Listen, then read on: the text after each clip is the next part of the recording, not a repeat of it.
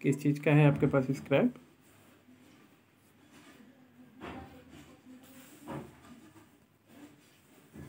Books कहाँ पे है ये? महाराष्ट्र में।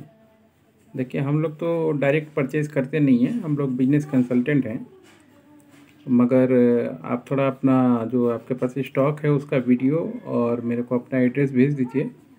तो हम तो हम लोग डाटाबेस भी प्रोवाइड करवाते हैं। जैसे मतलब मान लीजिए महाराष्ट्र में कौन कौन बायर है तो आपको दो चार नंबर दे देंगे। आप उन लोगों से बात करके रेट ले लीजिएगा। अगर आपको ठीक लगेगा तो अपना सौदा कर लीजिएगा। देखिए, सब जगह का अलग अलग है। अब वहाँ से यहाँ कंपेयर करके क्या फ़ायदा? है क्योंकि मान लीजिए आप वहाँ से कोलकाता अगर मान लीजिए भेजते भी हैं तो आपका ट्रांसपोर्ट का खर्चा है, ये सब चीज़ है। तो वो तो पता चला कि और आपको महँगा हो जाएगा। यहाँ वैसे नॉर्मल आपका अगर बुक्स वगैरह होता है तो कोई ग्यारह रुपये दे रहा है कोई बारह दे रहा है कोई चौदह दे रहा है कोई फिक्स रेट तो होता नहीं है इसका। हम्म, ये तरीका सही चल रहा है।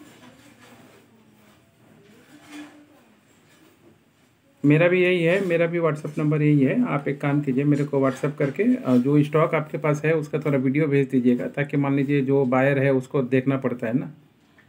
और अपना पूरा एड्रेस भेज दीजिएगा। मैं आपको नंबर भेज दूँगा। आप उन लोगों से बात कर लीजिएगा। अगर आपको रेट ठीक ज़्यादा मिलता है, सौदा ठीक लगता है तो उन लोगों से काम कर लीजिएगा। ठीक है जी? हाँ जी हाँ जी, भेजिए। ओके, धन्यवाद।